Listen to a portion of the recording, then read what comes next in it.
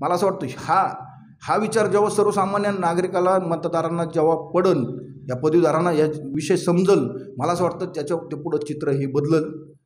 त्यानंतर मला वाटतं या मक्तेदारांची मक्तेदारी संपन आणि ही सुरुवात आता आम्ही केली असं म- आम्हाला पण वाटतं सावित्रीबाई फुले युनिव्हर्सिटीच्या निवडणुकीचा बिगुल वाजलाय आणि नगरमधून सिनेट सदस्यासाठी अमोल खाडे या निवडणुकीसाठी उभा येतं आपण त्यांच्याकडून जाणून घेणार आहोत नेमकं सिनेट सदस्याची निवडणूक काय असते त्यातले मुद्दे कोणते चर्चेत आहेत आणि नेमक्या कोणत्या मुद्द्यांवरती ही निवडणूक होणार आहे?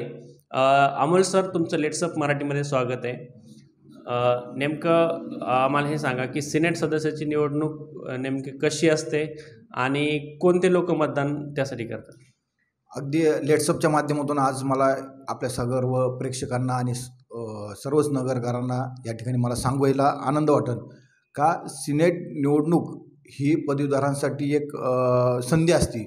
परंतु ही माहिती ब बहुतेक जणांना नसती.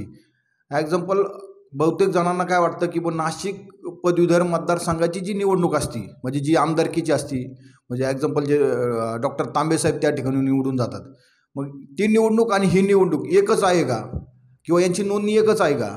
अशा बरेच प्रश्न आम्हाला दर दिवशी रोज विचारतात. तर मग आपल्या माध्यमातून मी या ठिकाणी सांगू इच्छितो की नाशिक पदवीधर मतदारसंघाची जी पदवीधरची निवडणूक असते तिचा नोंदणीची आणि निवडणुकीची प्रक्रिया अगदी वेगळी असते. त्या ठिकाणी पक्षीय राजकारण प्रत्यक्षात असतं त्या ठिकाणी मतदार नोंदणीही जास्त असते आणि त्यांना पाच जिल्हे असतात. नगर नाशिक पुणे धुळे नंदुरबार. परंतु पुणे विद्यापीठ सावित्रीबाई फुले फुले पुणे विद्यापीठ यांची जी पदवीधरची निवडणूक असते ही फक्त तीन जिल्हे म्हणजे सावित्रीबाई फुले पुणे विद्यापीठाचं जे क्षेत्र आहे म्हणजे नाशिक नगर पुणे यांचीच नोंदणी असते. आणि ह्या नोंदणीमध्ये तेच पदवीधर नोंदणी करू शकतात जे या विद्यापीठातून निवडून गेलेत आपलं पास होऊन गेलेत. जे त्या ठिकाणी तीन वर्षापूर्वी पाच वर्षापूर्वी त्या ठिकाणी पास आऊट झालेत ग्रॅज्युएट. आणि ज्यांच्याकडं कॉन्व्होकेशन आहे म्हणजे डिग्री सर्टिफिकेट आहे असे लोक विद्यार्थी या ठिकाणी नोंदणी करू शकतात. आणि त्या पदवीधरांमधून दहा पदवीधरांची निवड त्या ठिकाणी केली जाते. यात कुठलंही पक्षीय राजकारण नसतं पक्षाचं चिन्ह नसतं पक्षाचं नाव नसतं. यात तुम्हाला पदवीधरांचे नाव असतात आणि त्यांच्या पुढं पसंतीक्रम टाकायचा असतो आणि ही निवडणूक प्रक्रिया वेगळी असते. बऱ्याच जणांना एक कन्फ्युजन असतं की नेमकं हे दोन्ही निवडणुका म्हणजे अगदी वेगळ्या आहेत यांची नोंदणी ही वेगळी. आहे नेमके ह्या निवडणुकीमध्ये कोणते मुद्दे चर्चेमध्ये येतं? कोणत्या मुद्द्यांवरती सध्याची ही निवडणूक होणार आहे? तुमचा तुम्ही कोणते मुद्दे घेऊन मतदारांमध्ये जाणार आहात? खऱ्या अर्थानं जसं तुम्हाला सोप्या भाषेत सांगायचं झालं तर एखादं सभागृह असतं स्थानिक स्वराज्य संस्थेचं. म्हणजे जण जसं आपण उदाहरण देऊ आपण अहमदनगर महानगरपालिकेचं. मग महानगरपालिकेत निवडून जाणाऱ्या प्रत्येक नगरसेवक हा नगरच्या कुठल्याही विकास कामाच्या मुद्द्यांवर चर्चा करतो मंजुरी देतो समर्थन करतो किंवा विरोधक करतो. अगदी तसंच परंतु फक्त शैक्षणिक धोरण किंवा विद्यापीठाअंतर्गत येणाऱ्या प्रश्नांवर चर्चा करणे प्रस्ताव मांडणे समर्थन देणे विरोध करणे किंवा चुकीच्या गोष्टी विद्यापीठाला नजरेत आणून देण्याचं काम सिनेटचं महत्त्वाचं असतं. नंतर नवीन नवीन उप योजना असतील उपयोजना असतील विद्यार्थी हिताचं काम असतील विद्यार्थी कल्याण मंडळाचं काम असतील किंवा इतर पदवीधरांचे विद्यापीठाअंतर्गत येणारे अनेक विषय असतील ते त्या सभागृहात जाऊन मांडण्याचं काम त्या सिनेट सदस्याचं असतं.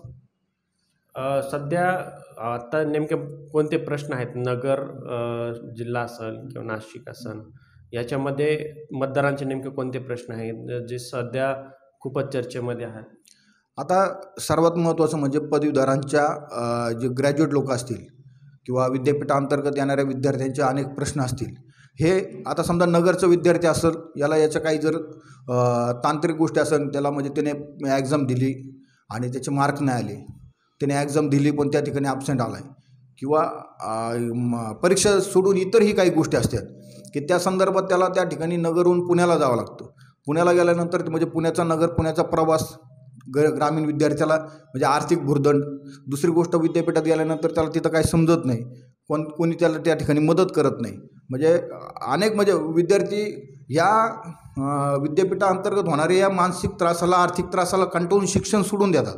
मग ते शिक्षणाच्या प्रवाहाच्या बाहेर जातात.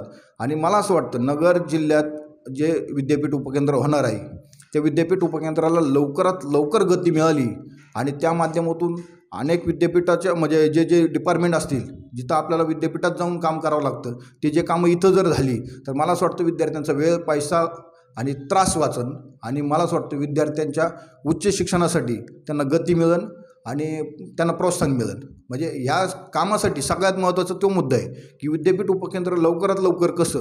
म्हणजे काय होतं? आता तुम्ही पाहिलं असेल याचं भूमिपूजन होतं नारळ फोडले जाते. नंतर त्याच मुद्द्याचं बरेच वेळा भांडवल केलं जातं की विद्यापीठ उपकेंद्र आणलं आम्ही आणलं आम्ही करणार आहोत. दुसरी गोष्ट त्या वॉल कॉम्पाऊंडला बराच खर्च केला. त्याच्यानंतर त्याच्या अशी गती नाही मिळत. मला असं वाटतं जर एक स्थानिक नगरचा माणूस जर सिनेट म्हणून त्या ठिकाणी गेला तर तो पूर्ण ताकदीने त्या विद्यापीठ उपकेंद्र करण्यासाठी त्या ठिकाणी मला असं वाटतं ती ताकद लावून ते करू शकतो अशी माझी सध्या तुमची पॅ तुमच्या पॅनलची कशी तयारी आहे आणि विरोधक स नेमकं कोण आहेत? काय आहे परिस्थिती सध्या निवडणूक विद्यापीठ विकास मंच म्हणून एक पॅनल आहे जो प्रस्थापितांचा आहे. प्रस्थापितांचा असं म्हणायला म्हणजे हरकत नाही की सर्व संस्था संचालकांचे नातेवाईक किंवा त्यांचे कार्यकर्ते या ठिकाणी त्या पॅनलमध्ये म्हणजे निवडून जातात. त्याचं कारण असं की त्यांची मतदार नोंदणी जास्त असते. आता जो सर्वसामान्य पदवीधर मतदार असेल ग्रॅज्युएट जो पुणे विद्यापीठातून पास झाला आहे ज्याच्याकडे कॉन्वोकेशन आहे त्या माणसाला आपण आता मी माझ्या या ऑफिसच्या माध्यमातून बऱ्याच लोकांची नोंदणी केली. त्यांना फोन केले सोशल मीडियाच्या माध्यमातून आवाहन केलं की मतदार नोंदणी करा मतदार नोंदणी करा. पण तर तरुणांमध्ये म्हणजे ग्रॅज्युएट लोकांमध्ये त्याच्यात म्हणजे काही असं इंटरेस्ट नाही त्यांना. असं काही म्हणजे की बुवा आपण नोंदणी केली पाहिजे. आपल्याला तो अधिकारी आपण पुणे विद्यापीठाचे ग्रॅज्युएट आहोत. आपल्याला तो अधिकार आहे. ह्या उद्देशाने ते कधीच म्हणजे नोंदणी करत नाही. इंटरेस्ट दाखवत नाही. आणि हे संस्था संचालक काय करतात? यांची एक फळी आहे. म्हणजे संस्था संचालक प्राचार्यांना प्राचार्य एच ओ डींना एच ओ डी प्राध्यापकांना प्राध्यापक शिक्षक शिक्षक शिक्षकेतर कर्मचारी हे सगळे मिळून त्या ठिकाणी पद मतदार नोंदणी आणतात. आणि ती नोंदणी मतदाराच्या दिवशी प्रत्यक्षात ते मतदान घडून आणण्यापर्यंत ती जबाबदारी त्या संस्था संचालक त्या बाकीच्या लोकांवर देतात. आणि त्यामुळे त्यांची मतदार नोंदणी जास्त होती. आणि पर्यायीने त्यांचे जे प्रतिनिधी आहेत म्हणजे प्रतिनिधी म्हणा किंवा त्यांचे जे हस्तक आहेत ते त्या ठिकाणी निवडून जातात. मग ते निवडून गेल्यानंतर ते पदवीदानाचा प्रश्न मांडत नाहीत. मग ते त्यांच्या फक्त संस्थेच्या हिताचं काम करतात. मला असं वाटतं असे डुप्लिकेट उमेदवार निवडून जाण्यापेक्षा मुळात प्रॉपर जो सर्वसामान्य विद्यार्थ्यांचे प्रश्न जाणतो पदवीधरांचे प्रश्न जाणतो किंवा तुमचा खरा प्रतिनिधी त्या ठिकाणी निवडून गेला पाहिजे ह्या हेतूने आम्ही या निवडणुकीला उभा राहिलो. आमच्या पॅनलचं नाव आहे छत्रपती शाहू महाराज परिवर्तन पॅनल. आणि या परिवर्तन पॅनलच्या माध्यमातून आमच्या पॅनलमध्ये एक माजी सिनेट सदस्य आहेत. नंतर माजी सैनिक आहेत आमच्यात. विविध जाती धर्माचे लोक या ठिकाणी आम्ही आमच्या पॅनलमध्ये घेतले. फक्त हेतू एकच की सर्वसामान्यांचा प्रतिनिधी त्या ठिकाणी निवडून गेला पाहिजे. ह्या हेतूने आम्ही हा पॅनल बनवला आहे आणि याला कुठली राजकीय पार्श्वभूमी नाही. आता हे बहुतेक हे समोरचे दोन पॅनल आहेत. ते दोन्ही पॅनलला राजकीय पार्श्वभूमी आहे. आमच्या पॅनलला कुठली राजकीय भू पार्श्वभूमी नाही. परंतु विविध राजकीय संघटना पक्ष आम्हाला या ठिकाणी पाठिंबा देत आहेत. म्हणजे काल पुण्यात आम्हाला एन एस यू आय या विद्यार्थी संघटनेने पाठिंबा दिला. म्हणजे बऱ्याच अजून संघटना या ठिकाणी आम्हाला पाठिंबा देणार आहेत पुणे युनिव्हर्सिटीच्या सिनेटवरती नेमकं मागता कोणाचं आहे? कोणत्या संघटनाचं किंवा कोणत्या ठराविक व्यक्तीचं आहे का? की त्यांचं वर्षानुवर्ष त्यांच्या ताब्यात आहे? आता तसं शंभर टक्के काही लोकांचं त्या ठिकाणी प्रस्त आहे. मग ते प्रस्त कसं म्हणावं? ते आदरयुक्त नाही. की बुवा त्यांनी लय विद्यार्थ्यांसाठी काम केलं की लय काहीतरी प्राध्यापकांसाठी काम केलं. लयच काहीतरी विद्यापीठाचा विकास केला किंवा त्यांनी काहीतरी लय आगळं वेगळं काम केलं म्हणून त्यांचं ते त्या ठिकाणी पुन्हा पुन्हा निवडून येतात असं काही नाही. आहे या ठिकाणी काय करतात आता जे पॅनल आहे त्यांनी पण तीन जिल्ह्याचे तीन असे प्रस्थापित संस्था संचालक ही एकत्र येऊन त्यांनी त्या ठिकाणी पॅनल बनवला. आणि या पॅनलचे प्रतिनिधी जास्तीत जास्त निवडून आणून त्या ठिकाणी पाठवण्याचा प्रयत्न केला आहे असं कुणी असं म्हणजे कुणी जगावेगळं काम करणारा आणि त्याच्या कामाला भावून लोकांनी मतदान केलं आहे असं एकही माणूस मला तरी वाटतं विद्यापीठात अजून तरी नाही. नगर नगरमधून मोठा कोणतं नाव आहे नेमकं? नगरमध्ये आता आहे ना नगरमध्ये प्रस्थापितच उमेदवार आहेत. आदरणीय विखे साहेबांचे भाचे आहेत नरवडे साहेब. ते खुल्या प्रवर्गातून लढत आहेत. ते त्या पॅनलचेच उमेदवार आहेत. नंतर एक त्यांचं जे एक प्रतिनिधी आहे ओबीसीतून उमेदवार आहे.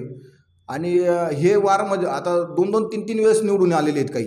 आता नाशिकचा जो माझ्या प्रतिस्पर्धी उमेदवार आहे सर त्या घरात आजच्या घडीला हे जर निवडणूक त्यांची टर्म झाली तर पंचवीस वर्षापासून ते एकच सिनेट पद त्यांच्या घरात आहे. तर मला मला प्रश्न पडतो की आता ही आमदारकी खासदारकी नगरपालिका नगरसेवक ग्रामपंचायत सदस्य सरपंच ठीक आहे बुवा इथं तुम्ही परंपरा चालते पंचवीस पंचवीस वर्ष ते माणूस त्या ठिकाणी सत्तेत असतो. पण विद्यापीठात असं काय तुम्हाला म्हणजे वारस हक्क किंवा परंपरा चालवली पाहिजे पंचवीस पंचवीस वर्ष एकच व्यक्ती त्या ठिकाणी निवडून येतो दुसरा लायक माणूस भेटत नाही तीन जिल्ह्यात.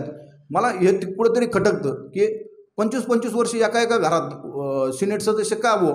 हे असं तिथं जाऊन काय म्हणजे त्यांना हे करायचं असतं? शैक्षणिक पद येते वेगवेगळ्या माणसांना संधी द्या त्या ठिकाणी काम करण्याची संधी द्या.